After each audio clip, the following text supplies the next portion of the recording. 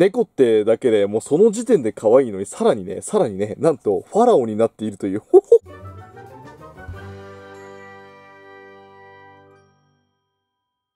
まずはラインナップの紙を、いろんな猫ファラオたちがね、ラインナップ、おお、可愛すぎるもう紙のし、しかも取れるんだって、これ。スフィンクス風と黒猫と白とグレーとミキがあって、もうやっぱブラックキャットっしょ。猫の被り物シリーズ、フィギュア第2弾、可愛い可愛いい猫ファラオフィギュアということで、早速ね、今出したやつを見てみるから、今、この、うお、可愛いいもうこの時点で可愛いいもん。サイズ的にはもうちょっとでかいのかなと思ってたんだけど、かなりね、ちっこい感じになってるね、サイズは。でもめっちゃ可愛いわ。クオリティだけ、にゃん。猫ファラオにゃん。ヒレフセにゃん。すげえで、これが取れるってことでしょ？おお取っちゃったら普通の猫ちゃんでしょ？普通の白猫ちゃんになっちゃったね。で、可愛いここもしゃれ。ナンバーワンの、もう今回の狙いナンバーワンのブラックキャッティング。俺の守護神。もう黒猫はね、俺の守り神ということにしてるんでね、黒猫。うわ、すげえ。黒猫半端ねえかっけえよ、やっぱ。これナンバーワンじゃないね。うわ、素晴らしい。ブラックキャッティング。胸の部分に注目。装飾品が、うわ、かっけやっぱブラックキャットっしょ。ナンバーワン。さ、でも、取るとね、猫ちゃん。あ、でも胸にある、白猫ちゃんにはなかったもんね。白猫ちゃんにはないけど、黒猫ちゃんにはあるという胸の飾り。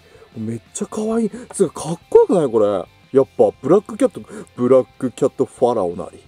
うわ、シューティングゲームのラスボスって感じするもんね。これ一回、ドゥルドゥルドゥルって、こう横に出てくるやつ、ドゥルドゥル、ドゥイー、ドゥドゥドゥドゥル、ドゥドゥドゥドゥドゥドゥル、めっちゃかっこよくないこれ。黒猫。やはり、これ、ちょっと待って、でもさ、もうちょっとでかいのも欲しいかもしれない。ちょこっとちっこいよな。ちょこっと。お、猫ファローフィギュアで。えー、みんなアップしてるからちょっと見てみよう。みんなどんな写真撮ってんだろう。すげえ気になるよね。ほほ、凛々しい姿をみんなに広めてにゃ黒猫ちゃんじゃん、しかもここ。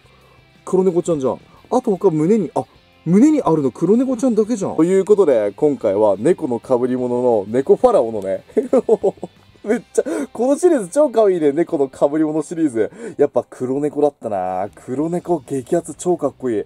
胸の飾りもかっこいいし、みんなも黒猫を狙って、ぜひ、やってみてめっちゃかっこいい黒猫。もしかしたら俺あのスフィンクス、スフィンクス風狙ってまたやるかもしんない。あれ欲しいなちょっとあの紙見てたら欲しくなった。このラインナップの紙見てたら。しかも実物もかなりクオリティ高くて良かったし、実際このね、撮ってみるとね、ただの猫になって、この猫猫フィギュアとしても可愛いよな。色的にもね、やっぱ黒の被り物が一番、あ、でも白の被り物もなかなかいいよね、こう見るとね。光り輝き具合がすげえかっこいいかなと。あと、この、この子気になるんだよね、スフィンクス風。